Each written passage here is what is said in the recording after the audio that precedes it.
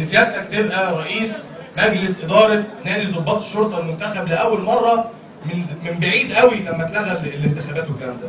فبالتالي حضرتك اللي بتمثلنا وحضرتك اللي بتتكلم باسمنا وإحنا ادينا لحضرتك الثقة دي علشان حضرتك توصل صوتنا للقيادات اللي ما بتسمعناش اللي قاعدة في المكاتب وكل الكلام اللي بيجي لها تمام يا فندم الوضع حلو يا فندم ما تقلقش يا فندم والابواب اللي بتتقفل في وشنا حضرتك اللي هتفتحها. حضرتك موجود هنا يا فندم علشان استاذنك. باشا صلاح استاذنك لو سمحت. هنا عشان يوصل صوت الساده الضباط لو سمحت يا خش جماعة. التوصيات على طول يا باشا. خش التوصيات يا باشا. جدا ولو لم أستطع أن أن أوصل صوتكم لكل واحد في مصر أنا هسيب هذا المكان. يا باشا سيادتك هتستطيع لأن كل ضباطك وكل ولادك اللي انتخبوك واقفين في ظهرك. أنا هستشهد بحاجة بسيطة جدا في موقف السيد الرئيس جمال عبد الناصر بعد عملية تدمير ميناء إيلات لما الضفادع البشرية سلموا نفسهم للأردن والملك حسين احتجز الضفادع البشرية. السيد الرئيس جمال عبد الناصر بعت جاب الملك حسين واحتجزوا في مصر لحد ما الضفادع البشرية جت وإحنا كل يوم بيجي لنا ناس من حماس ومن فلسطين بننزل نقف عليهم خدمات نحميهم وولادنا محبوسين عندهم سيادتك هديه موجود هنا وداخل مطار القاهره امبارح معاه 12 واحد من حماس ما يرجعوش والله ما يرجعوش رئاسه ان هم يكونوا موجودين الحزب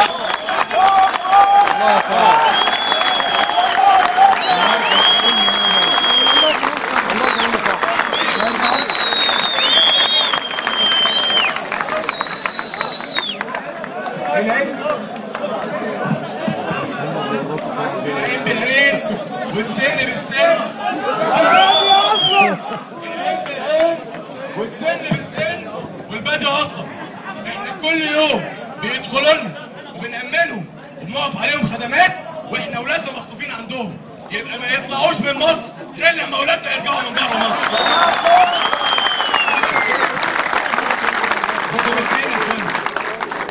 بالنسبة للمشهد اللي هيتكرر يوم 30 يونيو. 28 يناير لما دخلنا كلنا. لما دخلنا كلنا.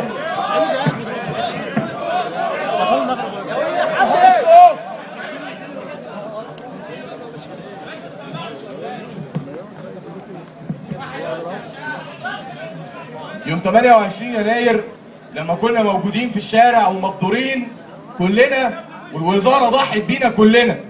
وكان كل واحد فينا بياخد قراره من دماغه لأن الأجهزة طبعا زي ما حضراتكم عارفين فصلت والتليفونات اتقطعت والكلام من ده كله. وفي الآخر أدى للوكسة اللي إحنا كنا فيها. لازم لازم يا سيادة اللواء ناخد دلوقتي خطوة صح. قبل اليوم اللي جاي إحنا قبلها ب 15 يوم. إحنا ما بنقولش أي كلام يا صلاح بيه.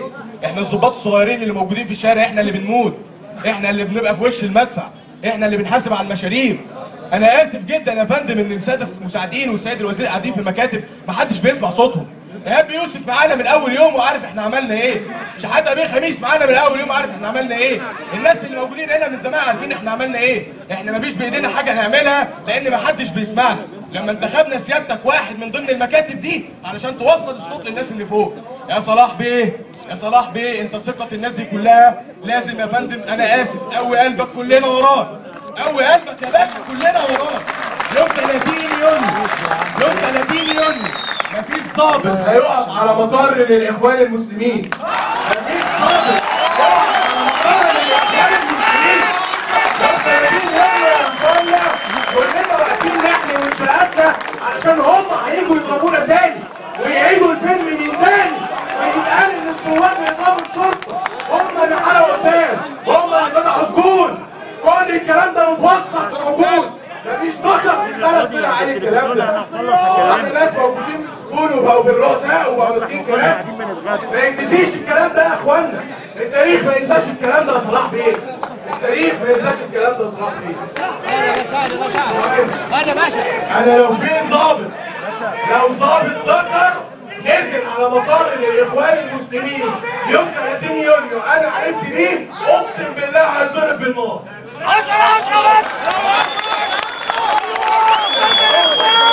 الصبر يا اخوان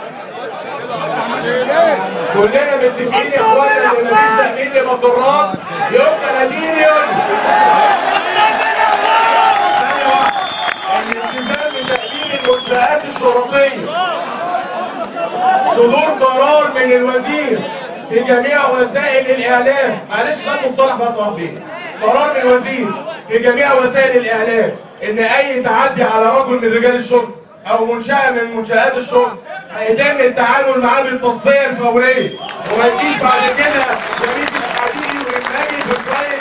المبادرات بتوع التلفزيون.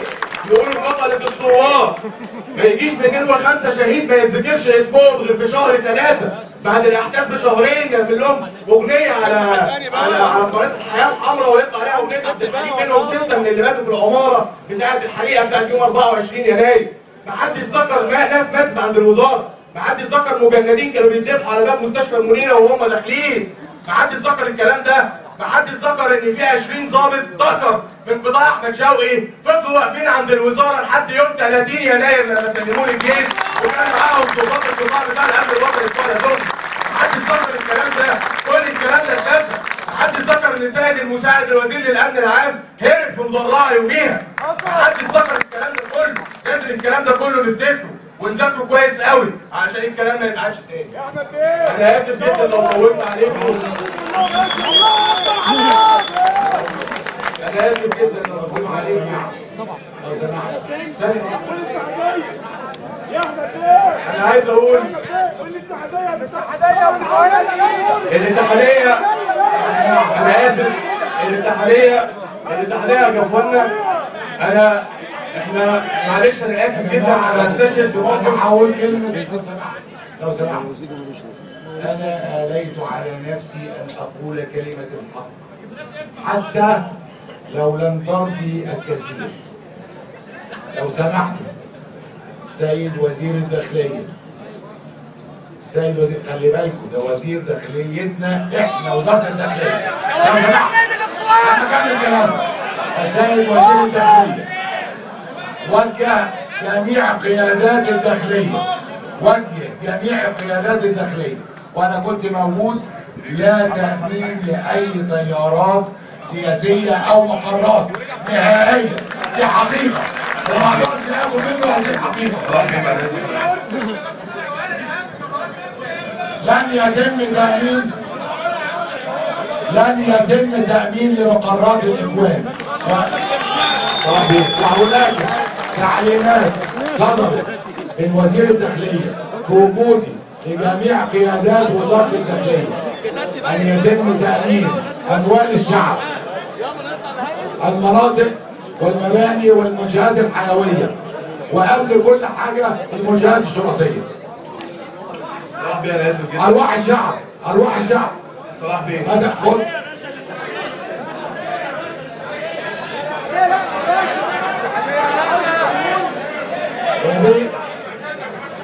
هذا خد